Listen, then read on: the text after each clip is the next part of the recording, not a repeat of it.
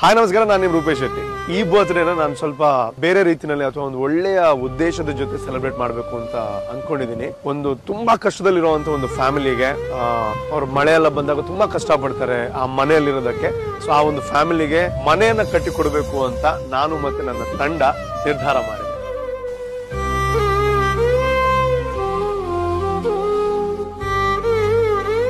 ಮಳೆಗಾಲದ ಸಂದರ್ಭದಲ್ಲಿ ಮನೆ ಒಳಗೆ ಯಾವಾಗಲೂ ನೋಡಿದ್ರು ನೀರು ಸೋರುವಂತದ್ದು ಸಂಪೂರ್ಣ ಚಿತ್ರ ನೀವು ನೋಡಿರಬಹುದು ವಿಡಿಯೋದಲ್ಲಿ. ಒಂದು ಕುಟುಂಬ ಇದೆ. ಈ ಕುಟುಂಬದಲ್ಲಿ ತಾಯಿ ಇದ್ದಾರೆ.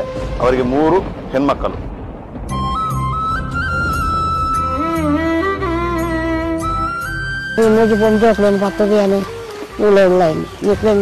kon datang ni. Evi satu ni pura ಶೌಚಾಲಯದ ವ್ಯವಸ್ಥೆಯನ್ನು ನೋಡಿರಬಹುದು ಇದು ಹತ್ತಿರದಲ್ಲಿ.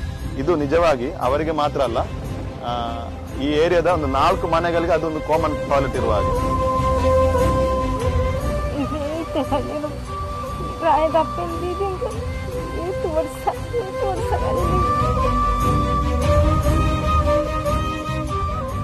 ಈ ವಿಡಿಯೋ ಮಾಡುವಂತ ಉದ್ದೇಶ ಏನು ಅಂತಂದ್ರೆ ಬೋದ್ರೆ ದಿನ ನಾವು ತುಂಬಾ ಖರ್ಚು ಮಾಡ್ತೀವಿ ಅಟ್ ದ ಸೇಮ್ ಟೈಮ್ ತುಂಬಾ ಜನರು ಕಷ್ಟದಲ್ಲಿ ಸಹಾಯದ ನಿರೀಕ್ಷೆಯಲ್ಲೂ ಇರ್ತಾರೆ ಸೊ ಅಂತವರಿಗೆ ನಿಮ್ಮ ಕೈಯಲ್ಲಾದಂತಹ ಸಹಾಯವನ್ನ ನೀವು ಕೂಡ ಮಾಡಿ